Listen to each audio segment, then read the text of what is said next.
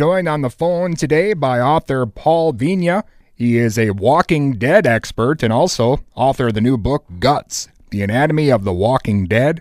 Hey Paul, how you doing today? Good. I'm great, Juston. How are you? I'm excellent. Thank you so much for joining me. Yeah, no, I'm absolutely happy to be here. Thank you. Well, uh, I know we only have a few minutes, so let's uh, get started and talk about your new book here, Guts: The Anatomy of the Walking Dead. Of course, uh, all the listeners out there, I'm sure, have at least heard of The Walking Dead, but uh, what are the listeners in for with the book? Well, the book is okay. I, I will say, if you haven't watched the show and you have any designs on watching it, uh, buy the book.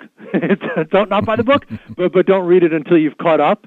It is a look at you know every angle of the show throughout the first seven seasons. So uh, there there are chapter recaps. There are detailed discussions of specific story points.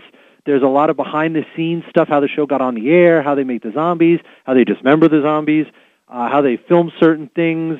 There's discussions of you know you know what are the best episodes, what are the best weapons to carry in a zombie apocalypse, you know all kinds of stuff.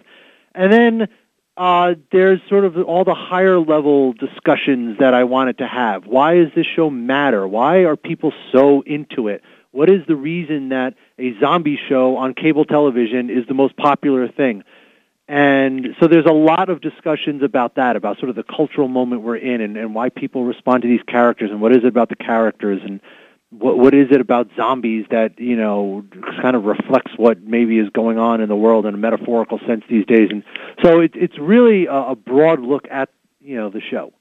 Well i i don't want you to give too much of it away but um can you kind of describe uh, why it is that this show i mean it's surprising a show that's so violent is actually like the most popular tv show in, in the country right now right exactly and i mean I was a fan of zombie shows before this came on the air. So I like zombie movies. I like zombie books. You know, like I was into it.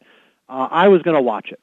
But a lot of other people, I think, who were not, have come to watch it. And as long as you can stomach the the gore and the violence, and not everybody can, uh, there there is something there. There is a story there. And I think what people miss who don't really maybe give the show a chance is they see zombies and they think, oh, it's just zombies. It's splatterfest. It's Friday the 13th, it's lowbrow, you know, and then they kind of move on.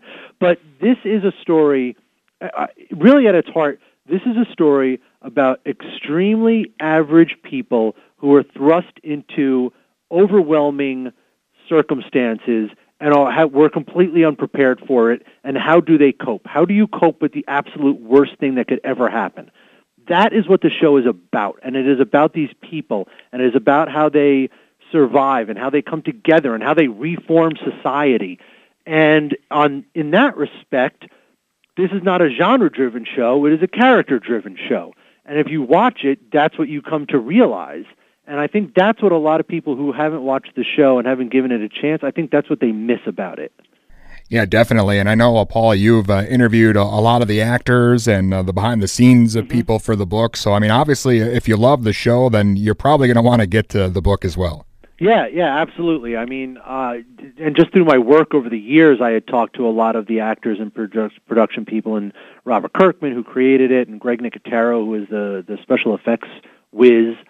So there there's a you know there's a fair amount of kind of behind the scenes stuff in there that kind of explains some of you know, I don't want to give away too much, but you know, some of how the zombies are created and destroyed, and and the backstory of some of the actors and how they got on the show, and and how their characters have kind of been formed by who they are, and the backstory of Kirkman and how he came to make this in the comics, and uh, so there, there's some of that kind of behind the scenes stuff as well. So even if you're a fan of the show, I would think there's probably some stuff in here that you haven't seen before.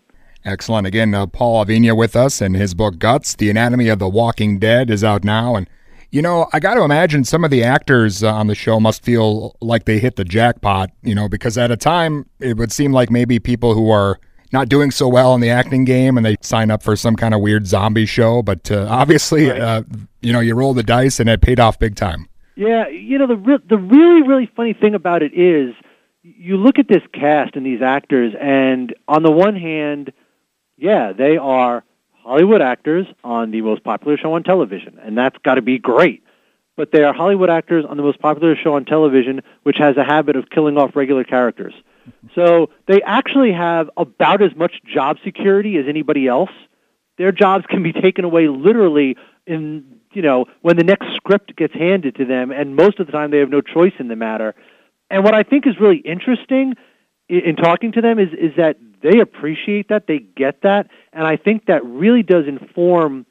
Not only does it inform their performance, I, I really do think that colors how much intensity they try to bring to it, but that also I think is very reflective of the real world these they're they're in a job that yeah it's great and and look i'm in the media business and i love what i do right now but i'm not stupid about where the media business is right now and i know that someday it could be my turn to get the the pink slip just like anybody else. And these guys live with that too. And it really does create a different dynamic with them. And and they you know i go to these walker stalker conventions and they're at them too. And they really have an appreciation for the fact that they're on this show right now, and they don't take. It's really interesting, and I I know they're actors, but I really think they're very genuine in it. They don't take it for granted, and I think that's very very interesting.